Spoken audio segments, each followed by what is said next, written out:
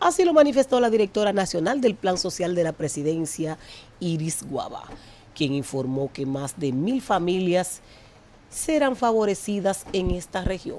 Vamos a tratar de abarcar la mayor cantidad posible de familias y después continuaremos con censos de nuevo para ya para Navidad. ¿Cómo se entregará esto? ¿Será una fila como la otra vez no, o casa por casa? No, casa por casa. Iremos casa por casa para que así la familia no tenga que desplazarse pagando un pasaje, ni tampoco pagar, por imagínate, el que le regala un boyprint tiene que pagar 300 pesos de una camioneta.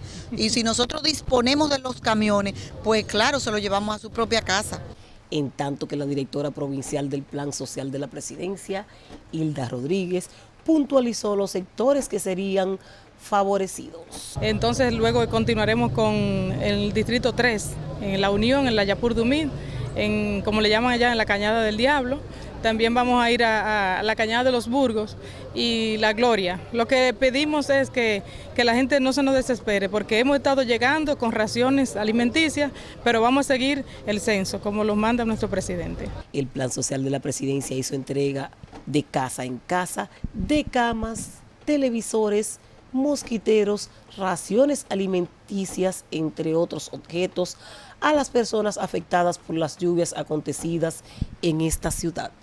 Noticias 55, Marisela Gutiérrez.